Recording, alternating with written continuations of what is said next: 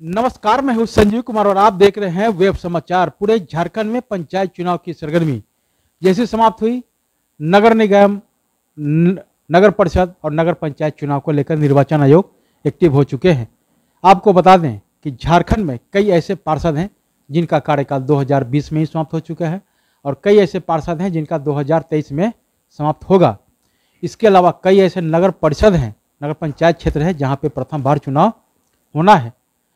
तो निर्वाचन आयोग विचार विमर्श कर रही है कि तीनों को चुनाव साथ में कराया जाए या अलग अलग कराया जाए। हालाँकि निर्वाचन आयोग के पास अधिकार है कि वो छः महीने पहले या छः महीने बाद चुनाव करा सकता है। तो आपको बता दें कि बरसात के बाद कभी भी आदर्श आचार संहिता लागू हो सकता है और और चुनाव को लेकर के शंखनाद हो सकता है। तो अभी हम लोग आए हुए हैं, सरायकेला जिला आए हुए हैं, सरायकेला नगर पंचायत क्षेत्र में आए हुए हैं और वार्ड नंबर नौ में आए हुए हैं और यहाँ के जो पार्षद हैं, वरुण कुमार साहू जी हैं तो इनसे जानते हैं कि जनता ने जब इनको पाँच वर्षों के लिए मौका दिया तो इन पाँच वर्षों में इनके द्वारा क्या कुछ डेवलपमेंट यानी विकास का काम हुआ?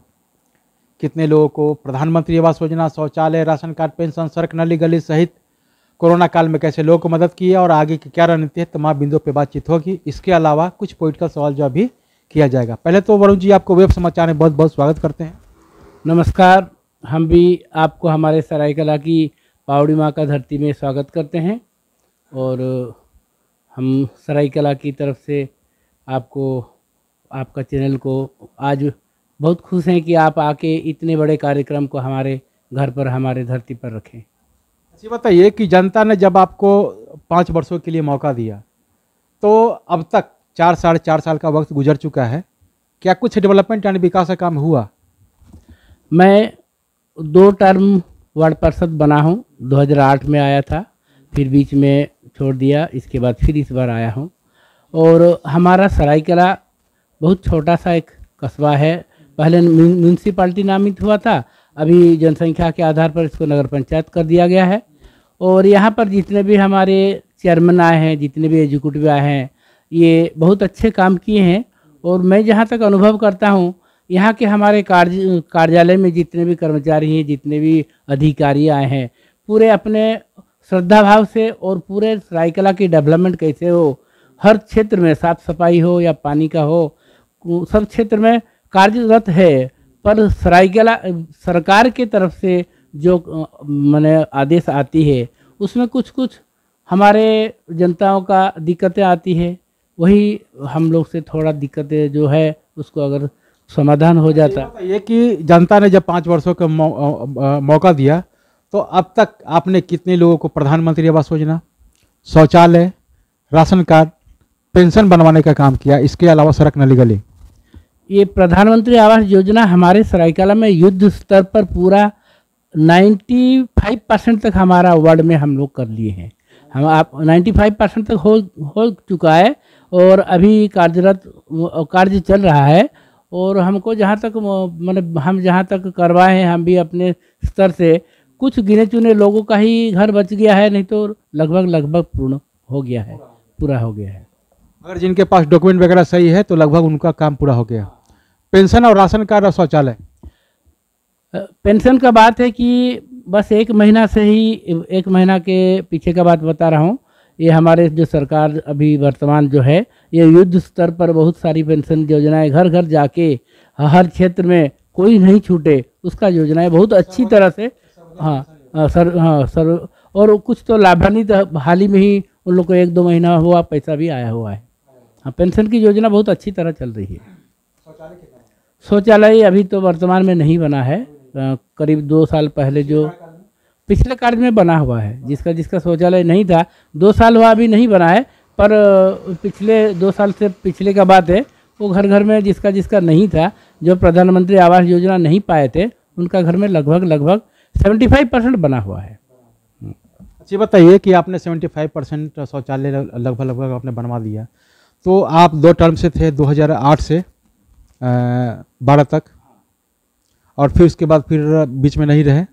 फिर दूसरी बार आप रहे। तो इन दोनों टर्म को देख, अगर देखा जाए तो सबसे महत्वपूर्ण और ऐतिहासिक काम कौन सा हुआ है, जो आपका नाम लोग युगो युगों तक याद करे? कोई ऐसा काम? देखिए 2008 में जो हम लोग आए थे, हम लोग को पार्षद का कुछ दायित्व अधिक था, और अभी जो सरकार का जो नियम बना है, उसमें हम लोग को दायित्व से वंचित कर दिया जा रहा है। हम लोग कुछ कुछ कार्य को उनका माध्यम से हो रहा है, हम लोग को पता भी नहीं चल रहा है, और पहले जो था, हम लोग का कार्य में अपने स्तर से बहुत कुछ करते थे, यही हम लोग से नाराज़गी है अभी जो स्कीम बना है, सरकार जो नगर विकास विभाग जो नियम बना है, उसमें पार्षदों की अपना जो शक्ति है, उसको कम कर दिया है। तो सब कुछ ऑफिसर के बदौलत जो हो रहा है, हम लोग सिर्फ़ खाली बोर्ड में बैठते हैं और अपने आप सब काम हो जा रहा है। बस, जैसे कि कोई हम लोग काम निकालते हैं, डेवलपमेंट काम निकालते हैं तो उसको बस केवल हम लोग का काम निकालना ही है। बाकी सो अगर ठेकेदार कैसा बना रहा, नहीं बना रहा, वो हम लोग उ- उतना ये नहीं हो रहा है। अब देख रेख करते हैं, बाकी हम लोग का बात का भी उतना कोई उन लोग नहीं है, क्योंकि अपना स्तर से उन लोग का सब कुछ हो जा रहा है तो हम लोग को वही हम लोग का कमी है कि जो कमी उनको हम लोग देखते हैं, बोलने के बाद भी वो सुधर नहीं रहा है। बस ये एक तो कमी हो जा रहा है। अच्छा तो इस वार्ड की सबसे बड़ी समस्या क्या है अभी वर्तमान में? समस्याएँ तो वार्ड में हमेशा लगी रहती है। जैसे कि मेरा वार्ड में बहुत सारा काम हुआ है। बस स्टैंड जो 2008 से पारित हुआ था, हमारे जो जो कार्यपालक पदाधिकारी राजीव रंजन जी थे, कोरोना के पीरियड में वो इतने अच्छे काम किए हैं। कोरोना के समय बहुत मैंने लोगों का कैसे बीमारी दूर रहे, साफ़ सफ़ाई कैसे रहे, और उसके बारे में भी हमेशा तत्पर थे। कहाँ पर कैसे काम होगा, वो फ़ील्ड में घूमते थे और इसके बाद उनका तो कार्यकाल अभी ख़त्म हो गया, वो शायद वो रिटायरमेंट भी हो गए हैं। इनके बाद जो ये आए हैं, अभी इनकी जो सफ़ाई सबसे उत्तम काम है। सफ़ाई इनके माध्यम से जिस तरह का चल रहा है, ये हम तो उनको धन्यवाद देंगे, हमारा सरायकला वासी भी धन्यवाद देंगे। ये अपने जैसे कार्यकाल इस तरह हम लोग का अंत हो रहा है, दो तीन महीना है और इसके लिए हम लोग बहुत लाभान्वित भी होंगे। हाँ। बताइए कि अगर जनता आपको तीसरी बार मौका देगा इस वार्ड के डेवलपमेंट के लिए विकास के लिए तो इस वार्ड को मॉडर्न ऐतिहासिक आदर्श बनाने के साथ साथ स्मार्ट वार्ड के रूप में कैसे डेवलप करेंगे? क्या आपका रोड मैप होगा? देखिए हम मैंने बैंक ऑफ़ रिवर नदी किनारे बसे हुए हैं हमारा वार्ड। और यहाँ पर कुदरसाई मंदिर शिव मंदिर दोनों बहुत पुराने मंदिर है। और हम चाहते हैं कि जैसे कि हम लोग को बताया गया था ग्रीन सिटी के बारे में, अगर इस किनारे को दोनों तरफ़ जो नदी किनारे दोनों मंदिर को जोड़ दिया जाए और वहाँ डेवलपमेंट कर दिया जाए, ये हमारे सरायकेला का एक बहुत मैंने अच्छा दार्शनिक स्थान हो सकता है। हाँ हो सकता है। तो इसका, इसीलिए हम लोग बोर्ड में भी विचार रखे थे और उम्मीद करते हैं कि भविष्य में अगर ये कार्यान्वयन हो जाए तो बहुत अच्छी बात होगी। ये बताइए कि इस बार पार्षदों के बीच से ही उपाध्यक्ष का पद चयनित किया जाएगा। और जनता आपको तीसरी बार मौका देता है और पार्षदों का समर्थन मिलता है तो क्या उप, उपाध्यक्ष के लिए फाइट करेंगे? देखिए सब कुछ निर्भर करता है जनता के ऊपर। अगर मेरा काम में संतोषजनक है तो हम ज़रूर लौट के आएँगे। और रहा बात हमारे अगर पार्षदों में अच्छे पार्षद आएँगे कर्मठ अगर मुझे महसूस करेंगे तो तो चुनने का बात है उन्हीं के हाथ पर है। और अगर उन लोग चुनेंगे तो हम अपना वाइस वाइस चेयरमैन में योगदान करने के लिए अपना पूरा ज़ोर लगा देंगे। बताइए कि आपने कोरोना काल में कैसे लोगों को मदद किया? कोरोना काल में साफ़ सफ़ाई का तो हम हमारे जो अधिकारी थे राजीव रंजन जी है उनके साथ घूम घूम के करते थे साफ़ सफ़ाई होना चाहिए। और लोगों जो बाहर से आते थे उनको कैसे व्यवस्थित होना चाहिए? जैसे हम लोग का यहाँ पर रेन बसेरा मेरा वार्ड में ही बनाया हुआ है। वहाँ पर उन लोग को बाहर से जो लोग आ रहा था उन लोग को वहाँ पर रखते थे। रखने के बाद वहाँ पर खाना पीना का व्यवस्था कराते थे, मेडिकल का भी व्यवस्था होता था। बाहर से जो भी आदमी आता था, उनको हमारे जनता से अलग करके, अलग जगह में व्यवस्थित करके रखना और यहाँ के लोगों को सुरक्षित देना और वैक्सीन मुहैया कराना, ये सारी काम हम लोग एडी चोटी ज़ोर लगा के करते थे। कोरोना काल में तो आपने लोगों को बहुत ही बेहतर रूप से मदद किया और कोरोना का प्रकोप अभी समाप्त नहीं हुआ है। लेकिन राज्य सरकार ने होल्डिंग टैक्स बढ़ा दिया, क्या सही है? देखिए, हमारा ये नगर पंचायत ग्राम की तरह ही है। मैं बोलता हूँ कि इस एरिया में रोज़गार का साधन कुछ नहीं है। पहले यहाँ पर बालू का व्यवस्था था, पत्थर तोड़ के आदमी चलता था। यहाँ फैक्ट्री दूर में है पचास साठ किलोमीटर दूर में है। तो यहाँ रोज़गार के अभाव में यहाँ यहाँ पर टैक्स का बात को पुनः विचार रखना चाहिए। ये यहाँ के व्यक्ति को भरपाई करने का सक्षम नहीं है। जी।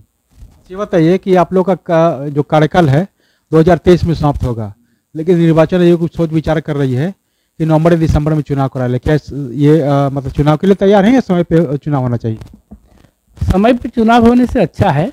अगर सरकार की मजबूती स्थिति है अगर वो कम समय में कम खर्चा में अगर हमारा इलेक्शन करवा दे तो भी कोई खराबी नहीं है। कोई कोई खराबी नहीं है। करा सकते हैं? करा सकते हैं। ये बताइए कि आप एक जनता के प्रतिनिधि हैं और जनता के प्रतिनिधि एम पी भी है। तो उन लोगों को हर तरह का सुविधा मिलता है और आप लोगों को केवल मानदेय मिलता है। केंद्र सरकार, राज्य सरकार से क्या मांग करते हैं? क्या बोर्ड में आवाज़ नहीं उठाते हैं कि आप लोगों को भी पेंशन सुविधा हो, महँगाई भत्ता मिले, मोबाइल खर्च मिले, तेल का खर्चा मिले? देखिए, हम लोग को जो सरकार अभी मुहैया कराए है, एक मानधन के रूप में ये जो राशि, ये भी हम लोग को सही समय पर नहीं मिलता है। इसके लिए एक एक साल, डेढ़ डेढ़ साल हम लोग को करना पड़ता है। और एक पार्षद का है कि ये, आपका बस्ती में हर पब्लिक का घर के साथ, हर परिवार के साथ जुड़ा रहते हैं। तो कहीं शादी हुआ, किसी का दिक्कतें हुआ, कोई बुखार हुआ, कोई बच्चा पढ़ रहा है तो उसमें हम लोग को थोड़ा बहुत हेल्प भी करना पड़ता है। तो उसमें हम लोग को सही सही समय में मानदेय मिलता है तो हम लोग कर पाते हैं। नहीं तो जैसे होता है, हम लोग कोई उपाय करते हैं तो हम लोग को तो मानदेय ढंग से नहीं मिल रहा है और पेंशन की बातें हम लोग कहाँ सोचेंगे फिर भी हम लोग एम एल का पद बहुत बड़ा है और हम लोग तो नेता नहीं है हम लोग तो सहकर्मी है सरकार का जितने भी उपलब्धियाँ हैं पब्लिक तक पहुंचाना है हम लोग एक माध्यम है तो अगर हम लोग जैसे कि इस कर्म में ही पूरा जुटे रहेंगे हम लोग का भी अपना परिवार है हम लोग का भी बाल बच्चा है अगर सरकार उस तरह का व्यवस्था करता है तो हम उन लोग को बहुत सारी धन्यवाद देंगे और हम लोग का भी भविष्य में ये दिक्कतें नहीं आएगी। ये होना चाहिए। पेंशन वगैरह होना चाहिए। भत्ता भी होना चाहिए। कर सकता है। ये बताइए कि हेमंत सरकार ने 1932 खतियान को लेकर के कैबिनेट में से पारित कर दिया है। क्या ये सही है? या इस पर भी विचार करना चाहिए? देखिए सरकार कुछ सोच के ही काम किए हैं। उनका बत्तीस का खतियान उनके केवल खतियान के आधार पर ये नहीं बनाए हैं। वो तो बोले हैं कि यहाँ के आदिवासी के या मूलवासी के या कोई भी जाति के व्यक्ति के पास खतियान हो या नहीं हो, उनकी मूल रूप से पहचान करके उनको हक दिलाना है। अगर वो केवल खतियान दे के ही ये नीति अपनाते तो ये गलत हो सकता है।